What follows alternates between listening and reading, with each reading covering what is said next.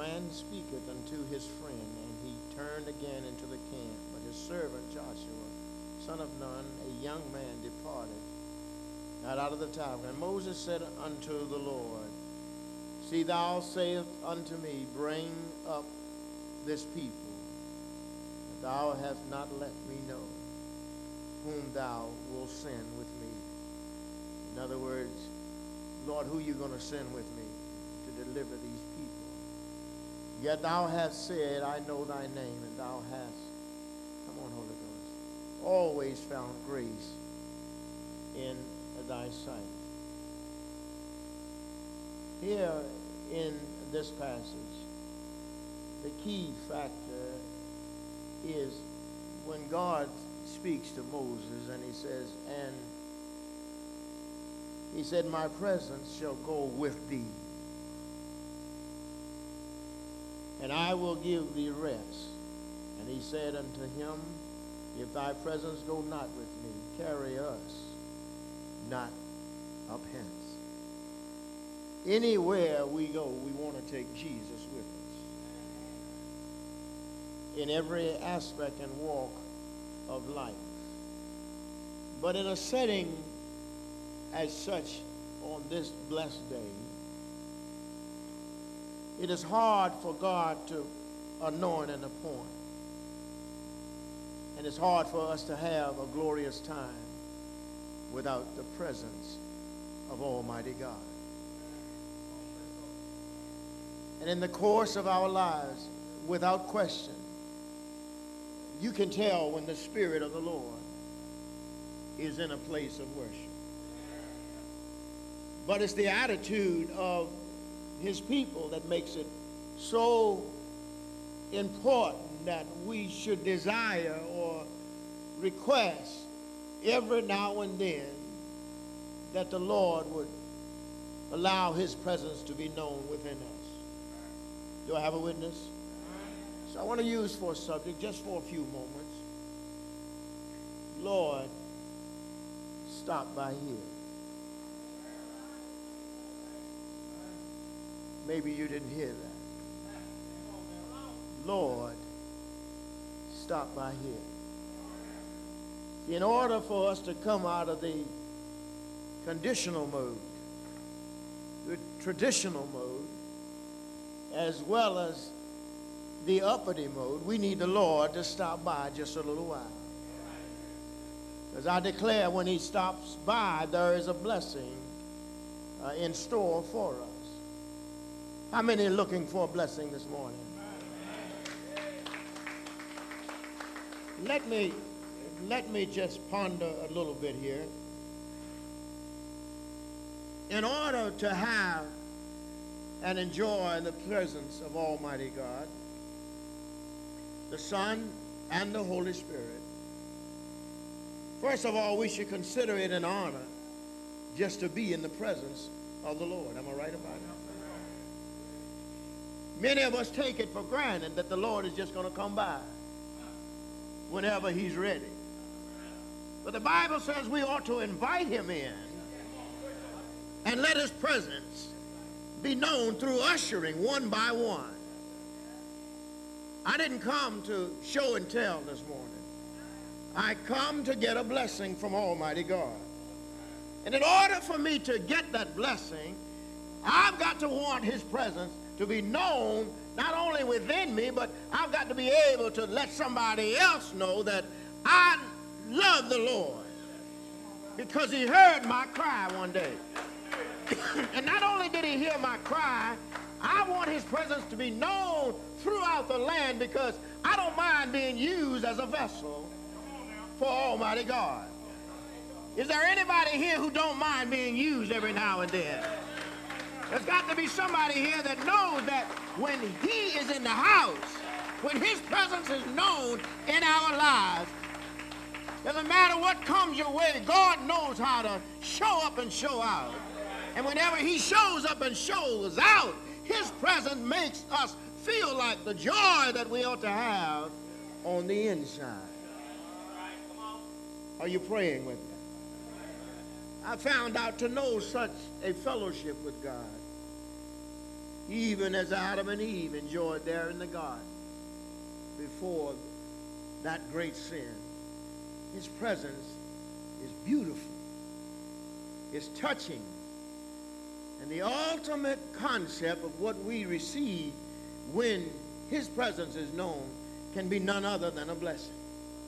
Out of all the cares and tears in this world, out of all your trials and tribulations, your ups as well as your downs, when God steps in the presence, somebody ought to know that I feel better. And I feel better because the Lord made it possible. And he made it possible all because he loves you and I. Is there anybody here that know that his presence need to be made known? Uh, I found out that his presence makes a difference. And that difference can be sometimes between life and death. Somebody knows that God, when he steps into any portion of our being in our lives, that folk don't feel like they used to feel. They don't even act like they used to act. There's something about his presence that, that makes the powerful name of Jesus dwell amongst men and women. And what I mean by that is, I don't know how you feel this morning, but, but God is smiling on me right now. I can say that because he woke me up this morning, clothed in my right mind. I've got one more day to tell somebody that God is real. I've got one more day to, to shout my troubles over. I've got one more day to let somebody know that Jesus is alive and well. How do I know that? Because his presence is all around me. And when his presence is around, it doesn't matter what you think, say, or do. God's got it all in control. When our time comes and the presence of God is near, our whole objective is to have the ability to overpower Satan. Come on, somebody. Because unless God's presence is around us, we become in a defeated mode. We lose battles quickly. We get discouraged easily. And we fall short of what God wants us to do. And somehow we struggle and struggle and struggle. It doesn't have to be on Sunday morning when you ask the Lord to stop by a little while. It doesn't have to be late on Saturday night. Every now and then when you steal away to your secret closet, you ought to look up and say, Lord, stop by here a little while. What, what, what, why do I need him to stop by here a little? Because he is a heavy load bearer. You can lay any of your burdens right there at the foot of the cross, and God will make everything all right. Is there anybody here who know what I'm talking about? Have God done anything for you? Has he blessed your life? Has he helped you to bear your burden? Every now and then you ought to look up and say, Lord, stop by here a little while. The ability to defeat Satan should be a Christian's ultimate goal. That power that we get with his presence is needed to stand against temptation. Somebody say temptation. And you may not admit it, it's all around you. Maybe not in the form that another neighbor may have, but temptation is all through this house. Because Satan is looking and jerking and lurking, seeking whom he may devour. And every now and then when you think about something what somebody have done to you, that temptation takes you off of the mind of Christ. Every now and then when, when, when, when trouble comes on your horizon, when bitterness gets in your heart, when folk don't understand you, you ought to look up and say, Lord, stop by here. stop by here a little while. And we're not just talking about First Baptist, we're talking about the soul, the spirit that lies within you. reach up and wave your hand and say, if you know that you know that you know that God's presence is in the place, look up and say, stop by here. Stop by here a little while. It takes determination to hold on to God's unchanging hand. I found out when his presence is near, grace abounds meaning you understand that the Lord loves you and he hears your cry. I found out in God's presence where one discovers that solutions to problems can be solved. Y- y'all don't hear me. When God's presence is in the place, problems get solved. I don't care whether it's a marriage problem, a school problem, a personal problem, any kind of problem, when God's presence is available and in and around your spirit, things happen. Have I got a witness? I found out that God gives you wisdom in spite of all the decisions that you have to make. And I don't know, somebody had to make a strong decision this week. And that decision could not have been done successfully without the power and the presence of Almighty God. Sometimes direction along life's journey, when you don't know which way to go, His presence makes the difference. God will straighten it up. He will allow you to walk in that straight and narrow path, in the newness of life, into situations you didn't think you could get out of. But God has the power. His presence will allow you to go where He wants you to go do what he wants you to do, and most of all, be what he wants you to be. You don't have to impress nobody. Y'all don't want to hear this. When it comes to serving the Lord. Because, see, his presence will make everything all right. The problem in this day and time, we're too busy pleasing folk. Y'all don't want me to go this way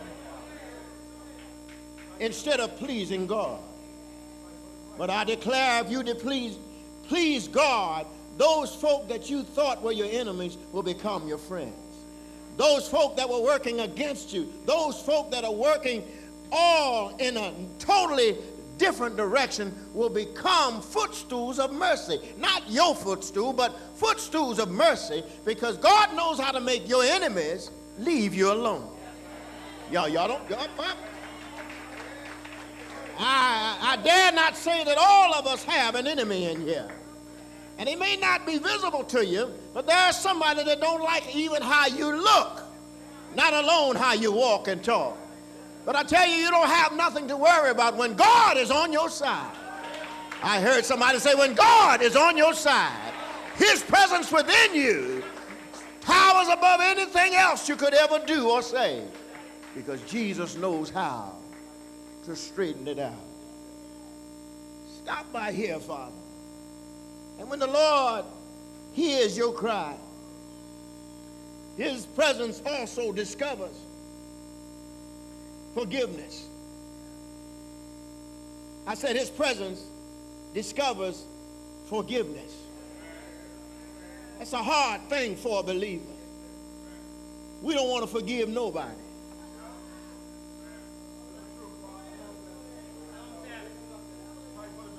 But yet we want God to forgive us. A believer ought to know that once you learn how to forgive, then for whatever burden that you're holding back that you feel that God won't understand, just may be the circumstances that he's waiting on you to look, forgive somebody else, and then maybe I can forgive you.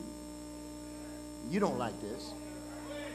You, you, you don't. You, matter of fact, you're saying, Pastor, close it out right now. Because see, the thing about forgiveness is we've got it turned around.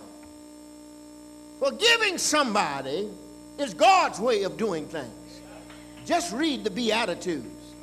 See, your way and my way of doing things is not the right way. If you're satisfied when somebody says, I'm sorry, that's an iffy right there. Because it depends on what mood you're in that day. Well, my brother and my sister, let, let me tell you how God works it. You ask him to forgive you of your sins and any wrongdoing that you may have done to somebody else. And then you wonder why, deep down in your heart, see, he knows your heart and your spirit. It came off of your lip, but it didn't come from your heart. And when it doesn't come from your heart, God holds that in stalemate. In other words, he holds it right there because he knows you're coming right back to ask him to forgive you for something.